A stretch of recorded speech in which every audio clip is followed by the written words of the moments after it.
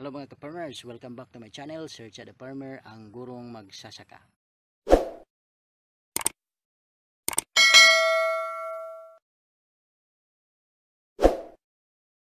If you are new to this channel ka-farmers, please spare a little bit of your time to subscribe and click the notification bell in order for you to be notified with my coming videos. Thank you and enjoy this vlog. Okay mga ka-farmers, our uh, vlog for today is all about how to apply a commercial fertilizer into our ginger plants. Okay? So if you're uh, ready, so let's go. Arat na. Okay mga farmers, so this is the um or I mean commercial fertilizers mga farmers na gagamitin ko in order to fertilize our gingers. So this one. Okay, so marami ito mga ka-farmers. So ang binili ko ay 5 kilos lang kasi maliit lang yung ilalagay natin. Hindi kasi pwedeng maramihan kasi baka mamatay din mga ka-farmers. Because you know, too much can kill. I do not mean too much love will kill you, but too much is not good. So, yun, kunti lang ilalagay natin. Okay? So, ito yung tinatawag na complete fertilizers mga ka-farmers. The question is how to apply this one in our ginger. So, I will show you. Let me carry this one first here. Kasi mainit. Baka iitim yung ating fertilizers. Joke din naman iitim yan mga ka-farmers. Yung iitim ay ang nag-video si Sir Cha. But it's okay. Hindi naman tayo iitim. Magiging brown lang kasi kayo manggi tayong mga Pilipino. Okay? Okay.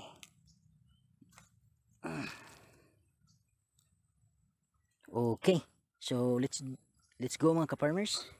So I will get uh, a little of this one mga ka-farmers like this one. Maliit lang. Tapos i-apply natin dito. If you can observe mga ka-farmers. So this is our ginger this one. And that one. That one and this one. So to apply this one mga ka-farmers, actually pwede siyang diretso dyan sa puno ng ating ginger. Pero, wag nating idiretso dyan. Kasi, dyan, wala dyan ang mga roots niya. Ang roots niya, nag-spread out yan dito. Ganyan. So, ibig sabihin, yung ating fertilizers mga ka-farmers ay ilalagay natin. We are going to place this one in between the ginger. So, this is the ginger. This is also the ginger. So, ito yung naapektahan ng uh, fungal infection. So, ang, ma ang maaari ma gawin natin mga farmers pag apply ay ilalagay natin dito in between. Ibig sabihin dito. So, dyan mga ka-farmers. Ilalagay natin yan. Dyan. Okay. Dyan natin ilalagay. Ganyan. Okay. Pero maliit lang ilagay yung ka-farmers, ka-farmers kasi mahal ito. Yan o. Ah. ah, dito lalagyan din natin kasi mga tanim to ay. Yan. Okay. Ito mga ka-farmers. Okay. So maglalagay tayo dito. Mm. Dito mga ka-farmers, maglalagay din tayo. Ganyan dito din. Yan. Lagay tayo. Dito ayan o ayan o lagay ganyan lang. Yung iba nga mga ka-farmers inaano lang to sinasaboy lang niya ginaganyan nila ba? Pero para namang sayang naman. Baka mayroong iba na hindi na lalagyan ba? So ito iayos talaga natin. Bigyan natin ng oras yan o yan dito. Yan tapos dito rin. Ah.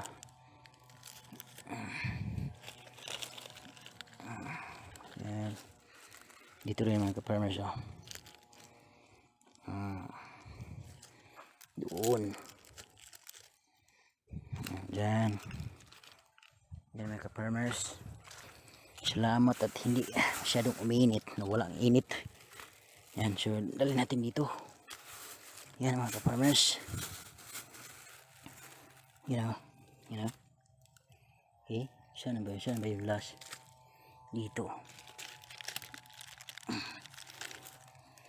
Yan, lagyan natin dyan, oh.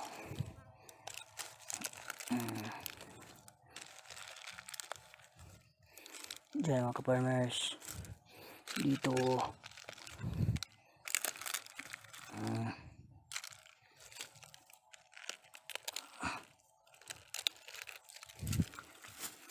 Lagyan natin ng kunti lang. Ah, dito yan. oh. Yan. Sige lang mga ka-farmers. Sa pasensya na tagay yung mga ka-farmers kasi wala akong kasama eh. Ito, vlog lang talaga to. Ah, ano lang, ah, interest ko kasi to mga ka-farmers yung pagtatanim kaya walang makakapigil sa akin. Kahit na sabihin ng iba na bakit daw ako tanim ng tanim. Eh, may sweldo na ako kasi guro ako. Sabi ko naman, eh, ito yung hilig ko din eh. Kung ano yung hilig nyo, gawin nyo. Huwag kayong may alam sa akin. di ba? Sakto naman ako, di? Yan. So this is what or how to apply the fertilizer ka farmers. It should be in between the gingers. Okay, ganyan. Yan o. Lagyan natin dyan. Okay. Ganyan. So, yung first plot natin mga ka-farmers, nalagyan na natin. Okay, so dito tayo sa kabila. So, may mga damo pa mga ka-farmers. Oh. Magwi-weeds control tayo sa so magwi-weedings tayo mga ka-farmers. Dapat makuha yung mga weeds kasi yung mga weeds mga ka-farmers yan. Pag hindi ito natanggal ito yung lalagyan natin yan dyan oh. pataba din yan pag nabulok. Pag hindi yan tinanggal yan ay magiging kaagaw ng ginger sa pagkuha ng fertilizers na inilagay natin. Kaya yan kailangang tanggalin talaga. Dito na naman tayo sa kabila mga ka-farmers. So second plot mga ka-farmers Ayan. ito diretso lang tayo. Tayong ano you know.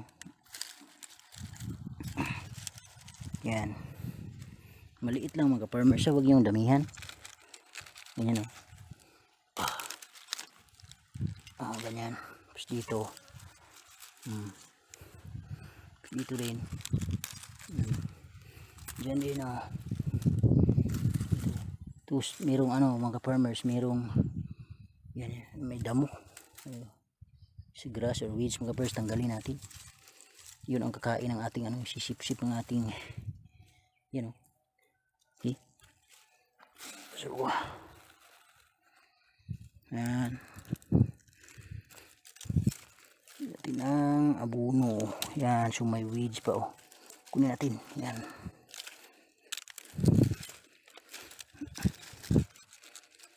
ganda ngayon ka farmers kasi ang sistema ng ating ano farmers yung kung na napapansin niyo yung ulan ka farmers kakaiba.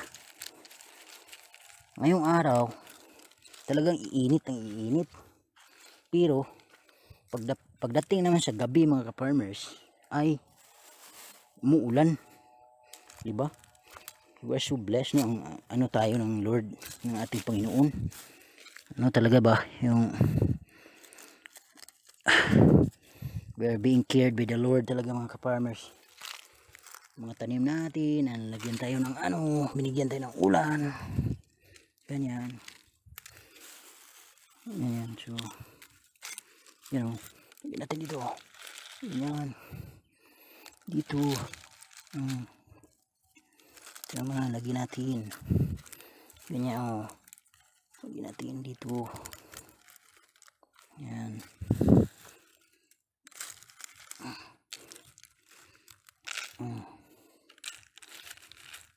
Kasi pag ano mga ka-farmers umuulan yung mga fertilizers natin ano yan na natutunaw yan. Okay? Natutunaw at yung ano na mga farmers ay maano na ng ating gingers Yan. Hmm. Yan, yan dyan oh. Yan. Yan mga ka-farmers. Alam mo mga ka-farmers, sa pagtatanim talaga mga ka-farmers. Sipag lang talaga ang sikreto. Kasi nga dito, pag hindi ka masipag dito, nako, surrender ka, oy. Mind you. Specifically kung isipin mo like me, na I am a professional. Tapos magtatanim ka ng ganito, uy. You have to lower down your pride. Remember, if you swallow your pride, mas magiging maganda buhay mo. Alam bakit? Kasi pag may pride ka at pinapairal mo, ang mangyayari, hindi ka gaganahan na ano, katrabaho ng iba kasi ayaw mo ng kasi nga meron ka ng ganito, meron ka ng ganyan. So, parang ano, para maging hindrance naman, para mas maging successful ka. Di ba? So ibaba yung pride. Okay? Nasa third, ano na tayo mga ka-farmers? Ah, third plot. Yan.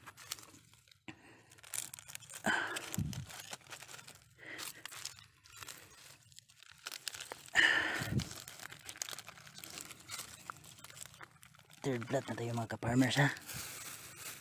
Ito, maliliit lang ilalagay natin mga ka-farmers. Bilang ano. Yung between yan. Yan. Dito. Dito rin. Lalagyan natin yan. Tapos dito. Yan. Yan. Ah.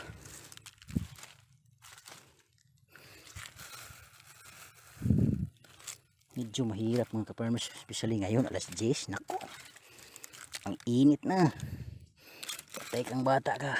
Yung ano yung interest mo talaga ay maliit lang. Dito may problema ka talaga. Yun mga ka-farmers kung maliit lang ang interest mo dito magkaka problema ka tsaka mawawala yung ano mo mawawala yung drive.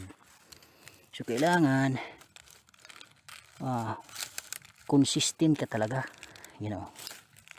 Diba? O, lalagay natin dyan sa in between ng ating ano. Yan. Kasi pag halimbawa yan mga ka-farmers yan ating nilagay. Yan yan. Yan. Pag umulan na natutunaw yan. Sa kanila sisip-sipin. Okay?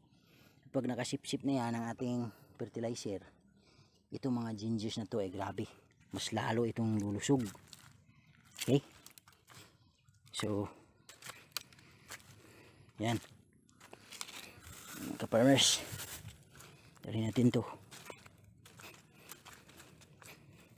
Yan yan. Ah, dyan dito lagyan natin ang fertilizer yan. Dito tapos kabila yan. Yung iba sinasaboy parang ganun. Parang ganun mga ka-farmers. Ginaganon na nila oh. hmm. Gina, ginaganyan na nila. Pero parang ano naman. Ata okay lang. So sa tingin ko mga ka-farmers yun lang siguro. Kasi pag isipin mo pag itong lahat inaabunuhan ko tapos binibidyohan ko pa. Ang ano napakataas. Kaya yun lang siguro ani anyway sa abot naman ng 15 minutes siguro. Okay so yan.